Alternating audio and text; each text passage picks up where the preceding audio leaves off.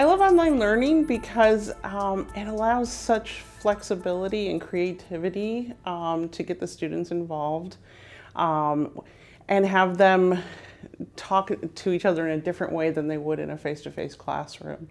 Uh, so it allows for that innovation um, and it allows me to reach a very different audience um, because we're part of Open SUNY, um, formerly the SLN.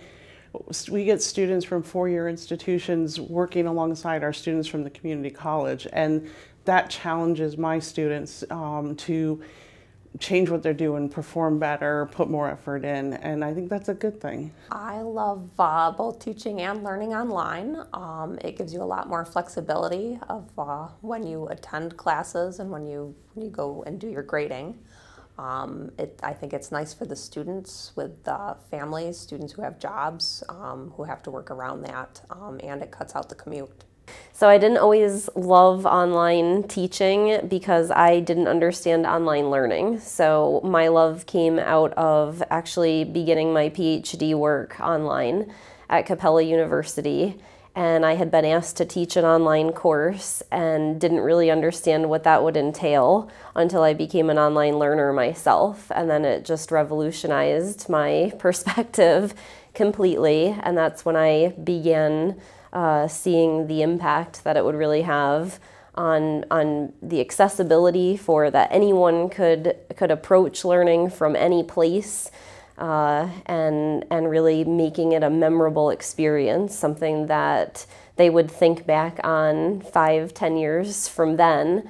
Uh, and it, it really does parallel the classroom for me. Little by little, I found that the participation on in, uh, in the in-class was a little bit less than what the participation is on the online course, actually.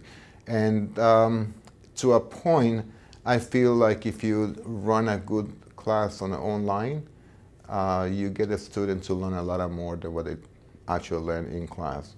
I was a brand new mother when I started teaching online. I had um, uh, two year, a three-year-old and a one-year-old, and I didn't have any time at home with them. And somebody suggested to me, "Why don't you teach online a couple days a week, and that will afford you some flexibility?"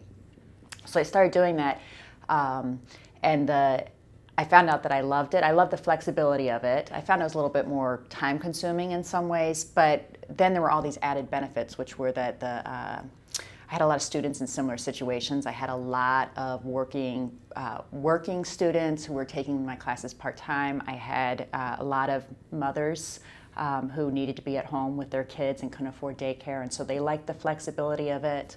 Um, so that was a bonus. And then I also really like that students who would be shy in a face-to-face class felt emboldened to some degree in the online class. Um, and I found that uh, it just I like the challenge of trying to figure out how to do a discussion online for a literature class, and I liked that students that might never talk otherwise really felt comfortable in an online platform. I just got very excited about doing all this new uh, technology that's coming up. And there is a lot of technology to learn, okay? So I'm still thinking a little far behind as to what I want the courses to be. So uh, uh, I do have a lot of time to actually develop courses and, and, and better the course every semester. So that, that, that, that's one of the things. And, and now coming to this conference, I, I heard from a lot of other professors that have the same problem that we all have. And uh, they, they're really willing to help each other. So that gives you a little more enthusiasm about, uh, about doing this online course. It's a constant challenge. It's constantly changing it's constantly staying on your toes and on top of things and it's never dull and the students are always changing and I, it's just exciting. It's just exciting.